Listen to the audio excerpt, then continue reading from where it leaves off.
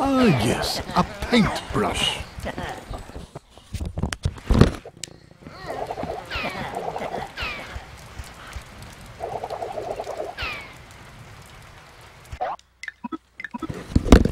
Well, I guess I have to do that over again for some reason. Because Piglet just glitched through. How did... Shoot.